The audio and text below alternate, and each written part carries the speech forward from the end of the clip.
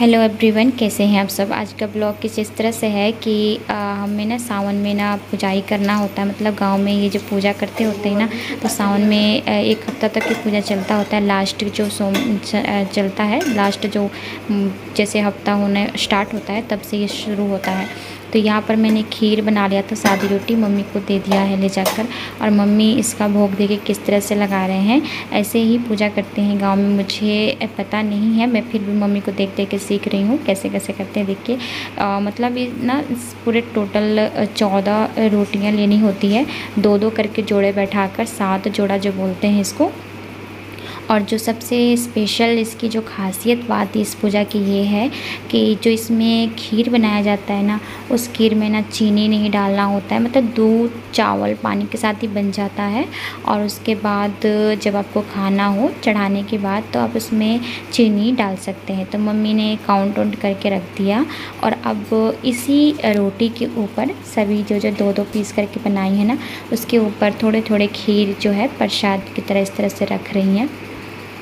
मैं इस वीडियो को इसीलिए बना रही हूँ कि बाई चांस हमें इस तरह से करना हो तो हम इस वीडियो को देख के कर सकते हैं, क्योंकि अधिकतर जो बहू होती है ना, सास को ही देख कर सीखती होती है तो वही मम्मी का वीडियो मैं बना कर रखती हूँ कि मुझे कुछ समझ ना आए तो मैं उसे देख कर सीख सकूँ।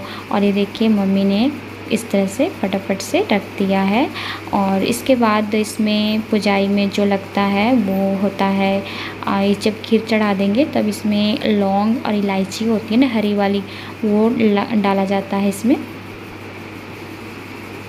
तो मम्मी सुबह से लगे थे इस इधर पूजा की तरफ़ मतलब मंदिर को सजाने उजाने में और मैं सुबह से साफ़ सफ़ाई करके लगी थी अपनी प्रसाद को बनाने के लिए। मम्मी ने इसी प्रसाद में से सभी देवी देवता को दे दिया। आ, मतलब कहते हैं ना कि सब जो हमारे भगवान होते हैं ना तो अगर आप एक भगवान के जैसे जन्माष्टमी मान के चलिए तो अगर उनके लिए आपने कुछ बनाया तो सबको दीजिए क्योंकि सब भी जो है ना उसका वेट करते हैं इंतज़ार करते हैं कि हमें भी इसमें मिलेगा।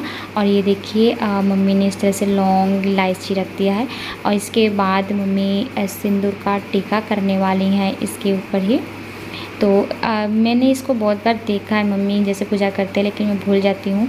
तो आज मुझे सोचा कि मेरा ब्लॉग भी शूट हो जाएगा और साथ में ये रिकॉर्ड भी रहेगा मेरे पास। तो मैं इसे जब चाहे देख सकती हूँ। तो ये देखिए जो सिंदूर होता है ना मैंने मम्मी ने पीला रंग का लिया है और हल्का हल्का इन रोटियों पर लगाएँगी। और कहते हैं ये जो हमारे घर की देवी होती हैं तो उनके लिए ये सब भोग लगाया जाता है। और इस तरह से मम्मी ने पूजा करने के बाद ऐसा भी बोलती हैं कि अगर कुछ गलती हो गया तो माफ़ कर दीजिएगा। तो भगवान जो है तो सब देखते ही हैं, लेकिन हमारा क्या होता है कि हम जो इस तरह से अनजाने में गलती कर देते हैं तो उसको भी वो गलती को माफ़ कर देते हैं। तो मम्मी यहाँ पर टीका लगा रही हैं और आज सुबह से हमारा यही काम था, रात को ही सारा काम आधा कर लिए थे, लेकिन फिर सुबह से लग गए थे पूरी साफ़ सफ़ाई में। तो किसी तरह से हमारा ये जो पूजा हो रहा है ना, दस बज गए हैं और सुबह के सुबह के दस बजे हम लग गए हैं इस पूजा में। इस पूजा को ख़त्म करने के बाद ये जो हमारा उपवास भी है, क्योंकि आज से मंडे है और मंडे का जो उपवास होता है तो जो हमारे शिव भोले बाबा के लिए तो पहले ये वाला पूजा कर लेंगे। उसके बाद मम्मी मंदिर जाएँगी और जल चढ़ाने के लिए। देखिए, लास्ट में इस तरह से पानी वारा जाता है, इस तरह से।